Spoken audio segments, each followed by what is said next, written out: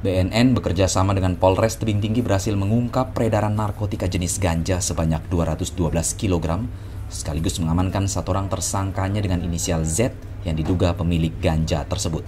Ganja seberat 212 kg tersebut ditemukan di sebuah rumah di Jalan Soekarno-Hatta yang dibungkus di dalam lima buah karung yang berasal dari tersangka lain dengan inisial A yang diduga warga Aceh. Ganja tersebut direncanakan akan diedarkan ke berbagai tempat. Menurut petugas BNN, Kombes Pol Iwayan Sugiri mengatakan, dalam pengungkapan kasus tersebut pihak BNN telah mengikuti dan memantau selama lima hari. Penemuan ganja ini merupakan pengembangan atas tertangkapnya tersangka lain dengan inisial I dan R yang juga merupakan jaringan narkoba berinisial A. Ganja tersebut kemudian dititipkan di sebuah rumah kontrakan milik KA.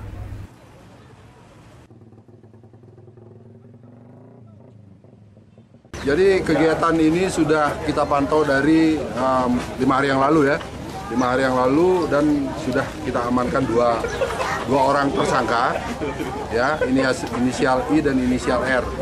Nah, sudah kita proses dan berkembang sampai sekarang.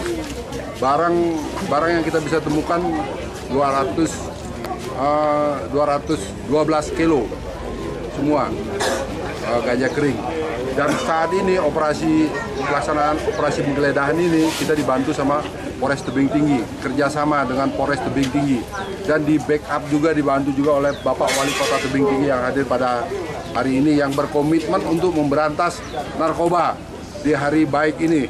Jadi uh, kita akan proses terus pelakunya dan kita akan kejar terus tersangka-tersangka narkoba di mana pun berada.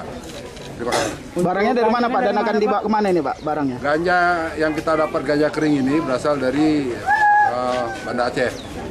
Jadi ada ada inisial A yang uh, di situ yang mengatur dan kita akan lakukan pengejaran. Dan barang memang titiknya di sini, terkumpul di sini. Tapi dari sini juga akan rencana disebar. Dan kita beruntung di sini belum disebar ke mana-mana. Kita bisa menyelamatkan generasi muda yang tidak sempat memakai narkoba jenis ganja ini yang termasuk golongan satu dalam Undang-Undang Narkotika.